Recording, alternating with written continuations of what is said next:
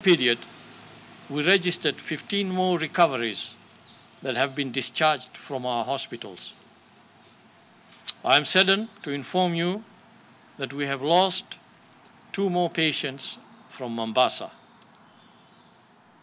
Let me take this opportunity to convey our heartfelt condolences to the affected families.